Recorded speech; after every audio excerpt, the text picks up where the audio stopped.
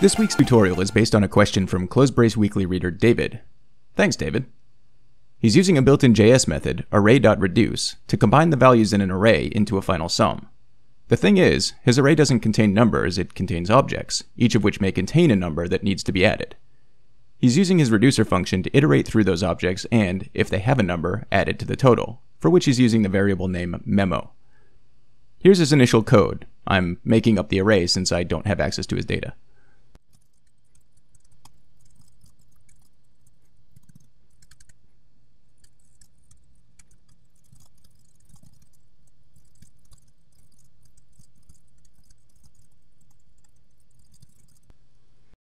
Save this and refresh.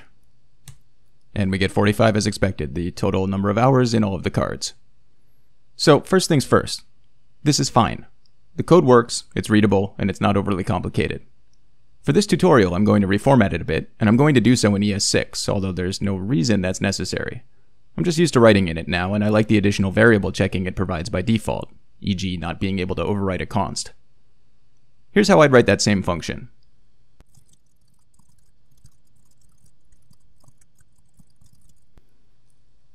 Save that. We should get 45 again. There we go. So, mine does the same thing and it's substantially shorter, but is it more readable? That's debatable. If you're used to reading ternary operators, which we covered in JS Quick Hits 9, and implicit returns, which we covered in JS Quick Hits 12, then I think this code's a bit more elegant. If you're looking for instant readability, I'd actually stick with David's original, albeit with a couple of small tweaks. If you wanted to cross between the two, you could maybe skip the implicit return, like this.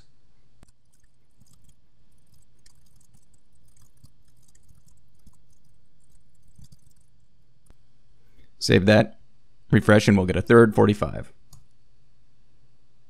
Guess we should go ahead and mark this too.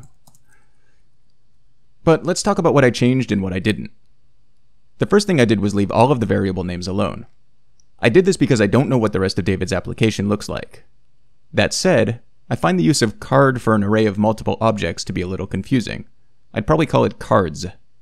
Also, I wouldn't capitalize card in my reducer function, because generally, capitalized variables are reserved specifically for constructors rather than for objects.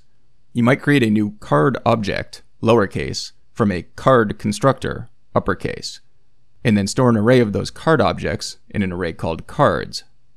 But there may be reasons I don't know for this naming convention. The next thing I did was convert to an arrow function because that allows for an implicit return. Following that, I replaced the if-else block with a ternary operator, which drops it down to one line, which also allows for the implicit return. What this line says is basically the same thing as the original function.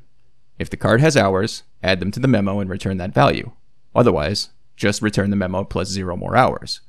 Except I removed the plus zero because memo plus zero is just memo, so there's no need for it. Important, you need this zero that's at the end of all the functions. Array.reduce takes an initial value as its second argument, so if you replaced that zero with, say, 15, your final output would be 60. If your array was strictly numerical values, you could get away with omitting the zero entirely, because if an initial value argument isn't supplied, array.reduce just uses the first item in the array as the initial value.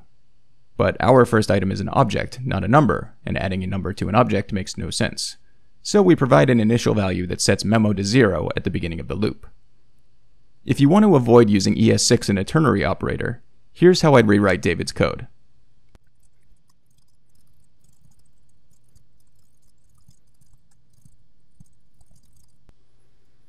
Save this. Actually, let's change this 0 to a 15. That should log 60 and it does. This eliminates that unnecessary plus zero, and it also skips the else lines from the original function. Why? Because your if is already triggering a return, so either the function returns at that point and skips the rest of the function, or it moves past the if and then just returns the value of the accumulator. This is an implied else, and is a good pattern to get used to. You'll see it a lot, especially from teams that are using Airbnb's linting rules, which is a lot of teams. So, there you go a few different flavors of array dot reduce, each with their pros and cons. What do you all think? Which style do you prefer? Leave me a comment. It's also important to remember in coding that readability and adhering to your team's style is almost always more important than getting things down to the minimal possible number of lines. After all, we have code minifiers to do that for us. That said, if you can one line the code and still have it be readable, it's generally a good thing. That's about it for this tutorial. Thanks again to David for the question, and I'll catch you all next week.